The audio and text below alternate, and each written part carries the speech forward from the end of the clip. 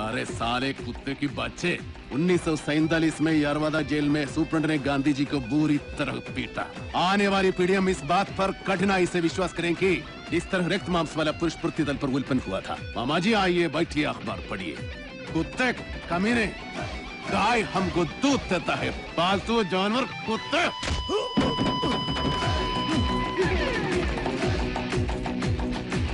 ചൊറിച്ചിൽ വന്ന ഓയിൻമെന്റ് തന്നെ തേക്കനോടാ കൊണാപ്പച്ചാരെ സെന്റ് മാസ്റ്റർ പേരെന്താന്നാ പറഞ്ഞേ? മാഫിയ ശശി.